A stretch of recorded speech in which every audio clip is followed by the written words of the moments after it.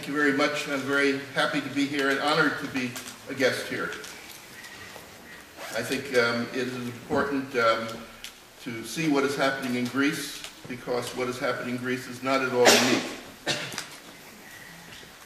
We are in the midst of a class war. And that's not unusual because there's always class war in capitalism. Although sometimes it is hidden and sometimes there is an interlude of an apparent Carthaginian peace. But the class war has intensified now because of the crisis in capitalism, a crisis rooted in the overaccumulation of capital.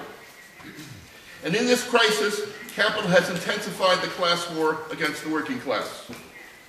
Austerity, cutbacks, the need to sacrifice, these are the demands of capital as it calls upon workers to bear the burden of capital's own failures. This is a war conducted by capitalist states against workers to compel them to give up their achievements from past struggles.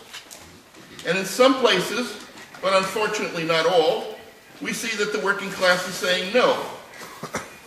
In some cases, we see that workers are fighting to defend their past successes within capitalism, and that they are fighting against the racism and xenophobia which are the default position when workers are under attack, but not in struggle against capital. Such struggles, as Marx knew, are indispensable. They are, he said, the only means of preventing workers from becoming, quote, apathetic, thoughtless, more or less well-fed instruments of production, close quote. But who will win this class war? In his recent book, The Communist Hypothesis, Alain Badiou speaks of the past defeats of May 1968, the Chinese Cultural Revolution, the Paris Commune, as well as those of various factory occupations and other struggles, and he describes these as defeats covered with glory.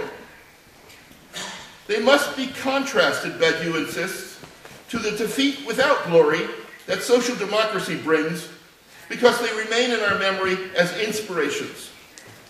And this is certainly true. we honor those who have struggled in the past, and we must carry their struggles forward into the future. However, there have been enough glorious defeats. And I suggest to you that the current struggles against capital's attempt to make the working class rescue it from yet another of its crises are likely to be added to the list of glorious defeats. Of course, it's necessary to organize to stop the cutbacks and to demonstrate that capital can be defeated. Of course, it's necessary to communicate to capital how high its costs will be for attempting to shift the burden of its own failures to workers.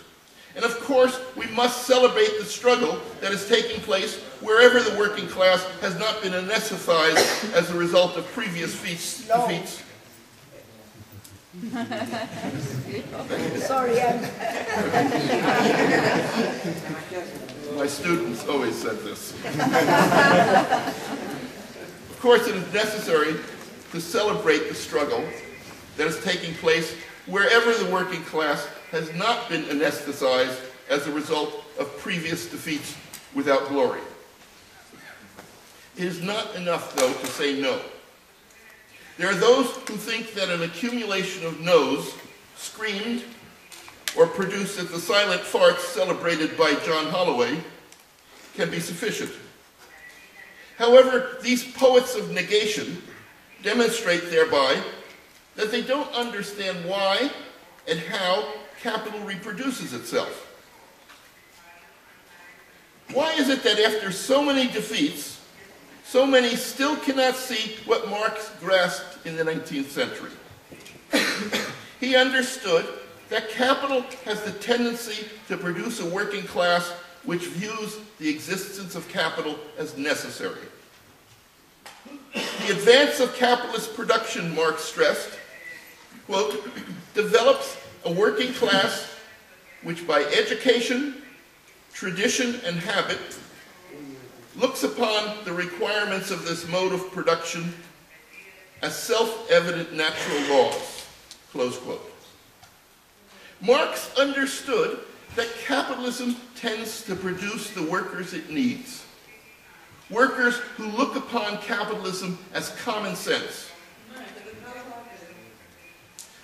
Given the mystification of capital arising from the sale of labor power, which makes productivity, profits, and progress appear as a result of the capitalist's contribution, it followed, Marx said, that, quote, the organization of the capitalist process of production, once it is fully developed, breaks down all resistance, close quote.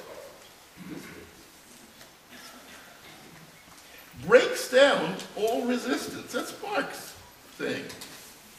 And Marx proceeded to add that capital's generation of a reserve army of the unemployed, quote, puts the seal on the domination of the capitalist over the worker, close quote, and that the, work, the capitalist can rely upon the worker's, quote, dependence on capital, which springs from the conditions of production themselves,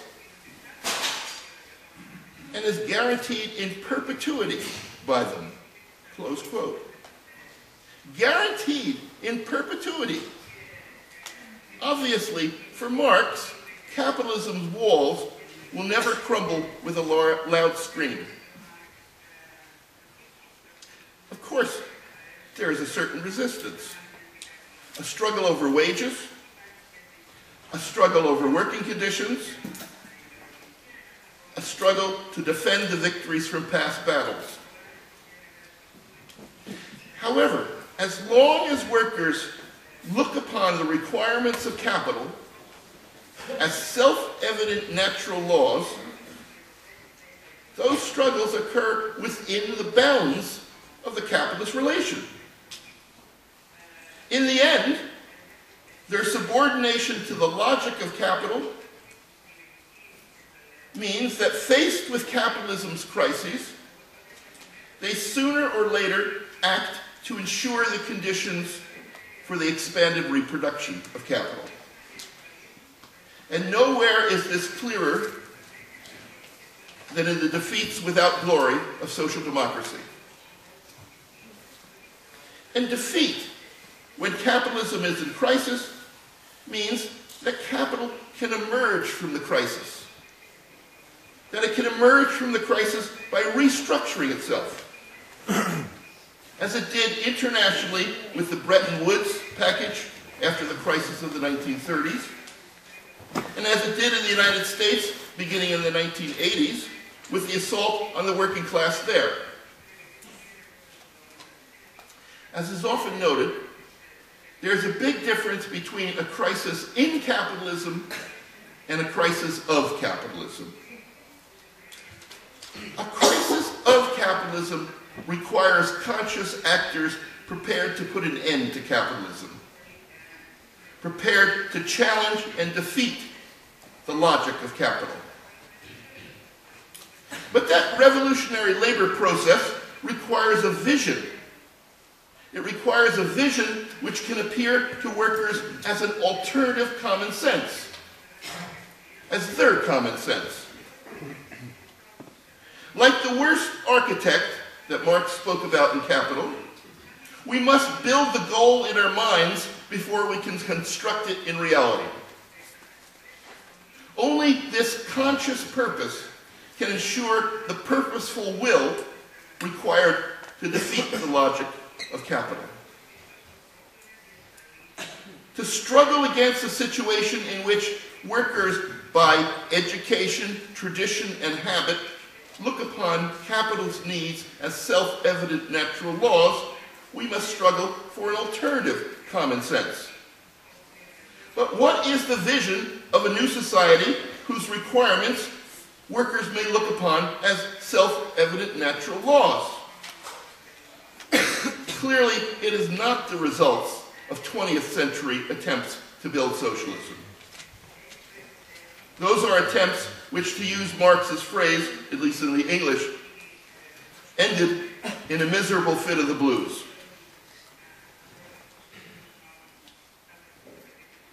We have to reinvent socialism. That was the statement with which Hugo Chavez electrified activists in his closing speech at the 2005 World Social Forum in Porto Alegre, Brazil. And he said, it can't be the kind of socialism that we saw in the Soviet Union. But it will emerge as we develop new systems that are built on cooperation, not competition. End of quote. And he continued, if we're ever going to end the poverty of the majority of the world, capitalism must be transcended. Quote, but we cannot resort to state capitalism, which would be the same perversion of the Soviet Union. We must reclaim socialism as a thesis, a project, and a path. But a new type of socialism, a humanist one, one which puts humans and not machines or the state ahead of everything. Close quote from Chavez. In short, neither expansion of the means of production nor direction by the state should define the new socialist society. Rather, human beings must be at its center. And that, at its core, is the premise for socialism for the 21st century.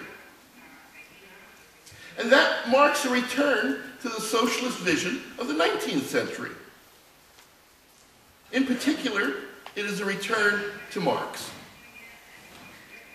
to the contrast that he drew in Capital, Volume 1, between a society which is subordinate to the logic of capital, one where the worker, quote, exists to satisfy the needs of existing values for valorization, close quote, and on the other hand, the logic of a new society which Marx described as, quote, that inverse situation in which objective wealth is there to satisfy the worker's own need for development, end of quote. In other words, Marx talks in Capital about the worker's own need for development as the core of this alternative society, this inverse society.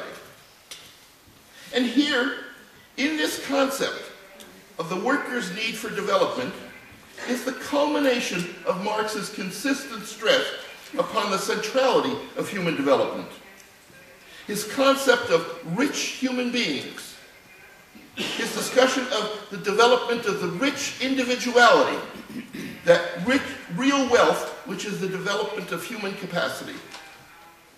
That was the goal, explicit goal of the new society.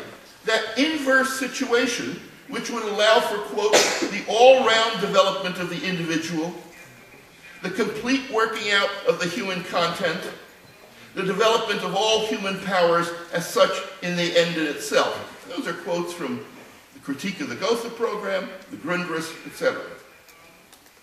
With this concept of inverting the capitalist inversion, the society of associated producers would be one in which, in the famous phrase from the Communist Manifesto, the free development of each is the condition for the free development of all. But this is only one side of Marx's perspective. A focus upon full development of human potential was characteristic of much socialist thought in the 19th century. What Marx added to this emphasis upon human development was his understanding of how that development of human capacities occurs. In his theses on Feuerbach, he was quite clear that it is not by giving people gifts. It is not by changing circumstances for them. Rather, we change only through real practice. We change only by changing circumstances ourselves.